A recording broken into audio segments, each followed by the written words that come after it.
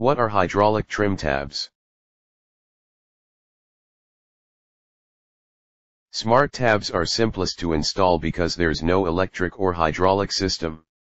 Electric trim tabs are controlled by electric actuators that deflect the trim tab planes up and down. A hydraulic pump inside the bides the pressure to actuate the cylinders.